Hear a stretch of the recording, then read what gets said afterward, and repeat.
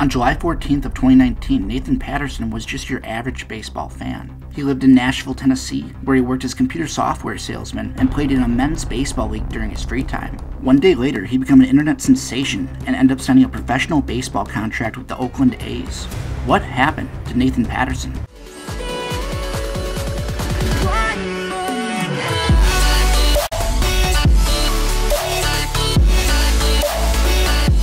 Hey guys, Brett here, at Baseball Prospect Analysis, and I wanted to remind you guys I'm currently running an Xbox Series X giveaway. At 5,000 subs, I will be giving away an Xbox Series X to one of my lucky subscribers. In order to be eligible for the giveaway, you must be subscribed to this channel, following my TikTok, the link will be in the description, and you must like this video. The full rules will be on the screen. Alright, now back to the video. Nathan Patterson was a class of 2014 middle infielder out of Overland Park, Kansas. He attended Blue Valley West High School and played for their junior varsity baseball team. Unfortunately, due to his undersized frame and an elbow injury that occurred his junior year, he would never make the varsity team. With no real plans to pursue the sport any further, Nathan would initially enroll at a local community college before leaving to start his own landscaping business. At this point, Nathan was literally mowing lawns and trimming bushes in his hometown to make a living.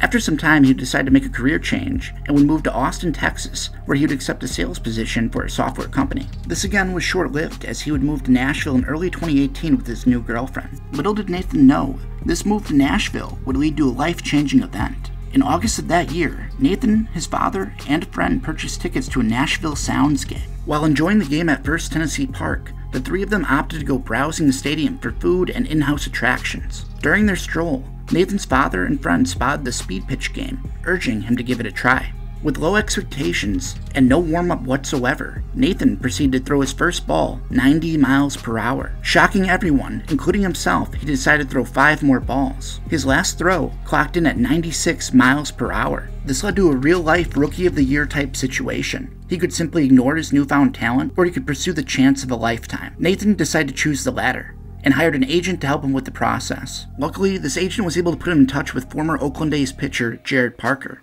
Parker, who also lived in Nashville, worked with Nathan on developing his secondary pitches and mechanics on the bump. After a solid three months of training and development, Patterson's journey came to an unexpected halt. In December of 2018, Nathan was struck by a car, resulting in him needing surgery on his left wrist. Once again, he chose to continue training and marketing himself instead of giving up. Nathan would end up sending a speed pitch video to the Flatground app on Twitter, which quickly went viral. This led to multiple college and major league organizations reaching out to him expressing interest. After a full recovery and some time training, Nathan was finally invited to a pro day where he'd be able to throw in front of major league scouts. In his own words, Nathan described his bullpen as unbelievable. It clearly was good enough to impress some scouts, as Oakland A's area scout Anthony Alosi decided to chat with them personally after. Alosi explained that Patterson should continue working on his development and should join a men's amateur league to get some live innings in. Any future outings in the men's league should be taped and directly sent to him. After a few successful live games with the men's league, Patterson's family decided to take a family vacation to Colorado, where they would attend a Rockies game. And of course, they knew they had to stop by the speed pitch attraction for old time's sake. Once again, Nathan impressed, touching 96 and wowing the crowd surrounding him. However, this time, the video went mega viral. Shortly after this stunt, the Oakland A's signed Patterson to a minor league contract. This led to multiple news outlets, TikToks, and social media accounts publishing misleading stories. Yes, Nathan was signed by the A's, and yes, it happened after the Colorado video was published. But the A's did not sign him due to the video like many stories claimed. They actually never saw the Colorado video and were unaware of its existence.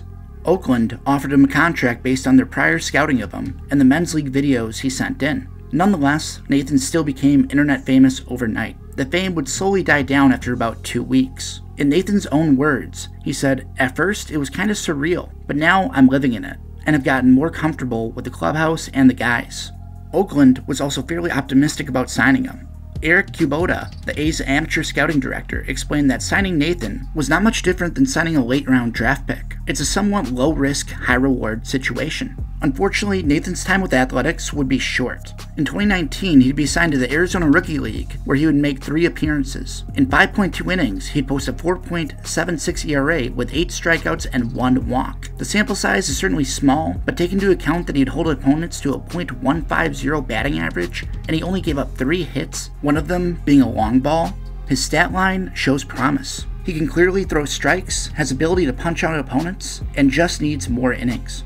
That one home run, most likely a three run shot, greatly elevated his ERA. However, with a cancelled 2020 season and organizations trimming the fat off their minor league rosters, Nathan was in trouble.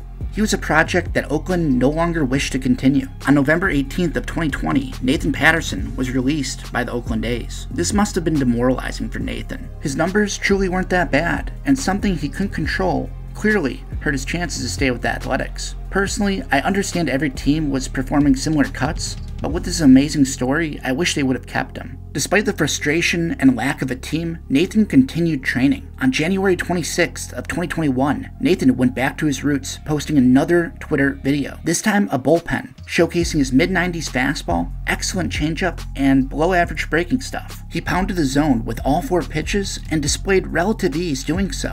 Though it did not go viral, it still caught the attention of my hometown Brewers. On February 2nd of 2021, Milwaukee signed Patterson to a minor league contract. He'd be assigned to the High A Wisconsin Timber Rattlers and would appear in five games, only throwing 4.2 innings. Overall, he did not do well posting a 13.58 ERA, walking 7 and striking out 3. Then, on May 27th of that year, he would declare retirement, effectively ending his Rookie of the Year real life movie. This was certainly not the ending anyone had hoped for, but for Patterson, I'm sure it made the most sense. So now, let me explain my thoughts on what happened, why he failed, and why he left after only two seasons.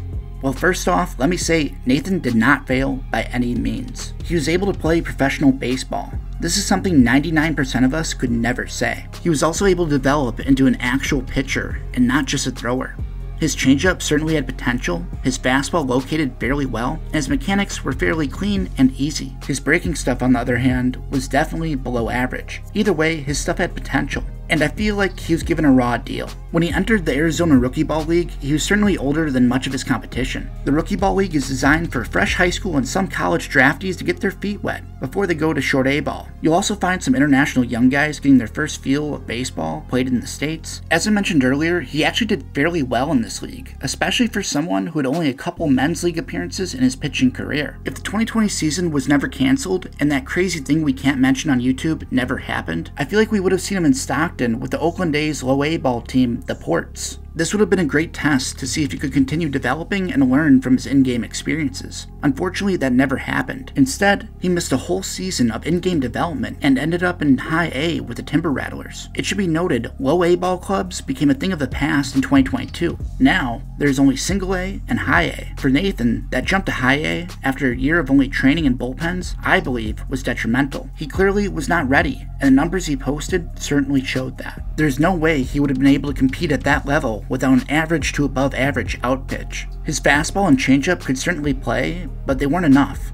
Now, from the organization's perspective, I can't blame them. When you have a 25 year old reliever with no AAA or AA experience, you don't have that many options. Milwaukee essentially gave him a sink or swim opportunity. He could flourish and develop in high A with hopes of a double A promotion, or he could struggle and hope for another chance next year. Nathan once again took an alternate route and chose to retire. This may shock some of you, but retirement was probably the smartest choice he could have made. Nathan had just gotten married to his longtime supporter and girlfriend, Taylor, in January of 2021. Not even 10 months later, they announced she was pregnant with his soon to be son, Nash Jackson. In a recent post, Nathan explained, By the end of my career last summer, I was mentally drained, broke, and physically unable to compete at the level I expected for myself, and that crushed me. He would go on to explain the mental and physical struggles the past year had brought him.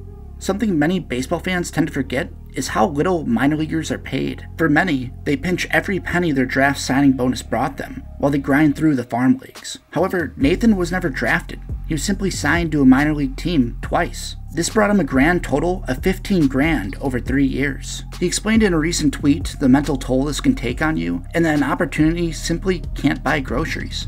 And he's right. For someone trying to build a family and become financially stable for the future, professional baseball was just no longer an option. In my personal opinion, he absolutely made the right choice. It's sad to see a dream die, but at some point, you have to do what's best for yourself and for your family. That's about it for today, guys. I'd like to thank y'all if you made it to the end of the video. Make sure to like the video and subscribe for weekly content. The rules for the 5K Xbox Series giveaway will be listed on the screen now, and I hope you guys have a great rest of your day.